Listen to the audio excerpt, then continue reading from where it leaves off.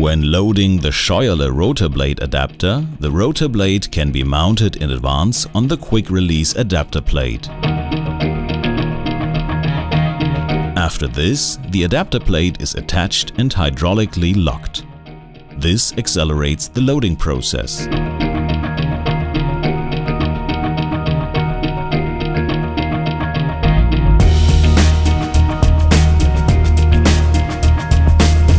Narrow streets of towns and villages can easily be navigated with a rotor blade adapter. The rotor blade can be flexibly set down or raised in order to, for example, avoid colliding with houses, traffic lights, power lines or trees.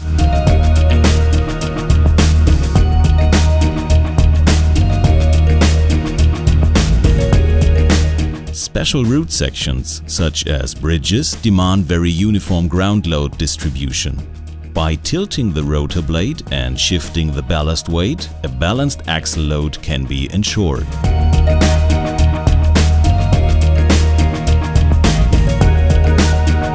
Due to the high center of gravity, there is an increased risk of overturning when transverse tilting of the vehicle takes place.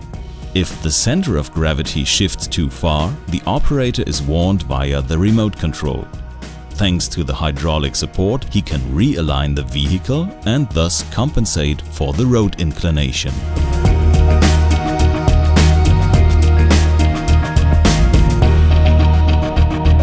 The rotor blade has a large surface area exposed to the wind. Therefore, the wind speed is permanently monitored by means of a sensor. If it is too strong, the operator is warned and can then lower the rotor blade as well as turning it away from the direction of the wind.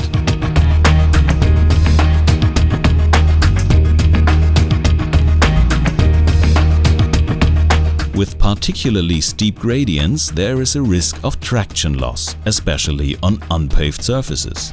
By shifting the counterweight, the axle load of the drive axles can be increased in order to be able to transfer the large drive forces into the ground.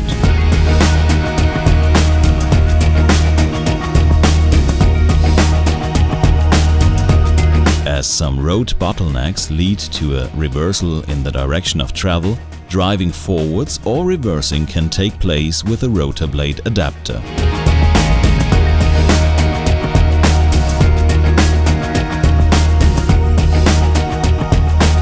Upon arrival at the wind park, it is once again possible to use the quick release adapter to facilitate a fast unloading process.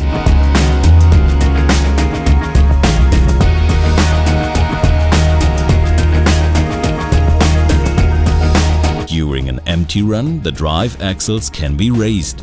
With the help of a truck tractor, this allows the vehicle to quickly travel back to the point of departure.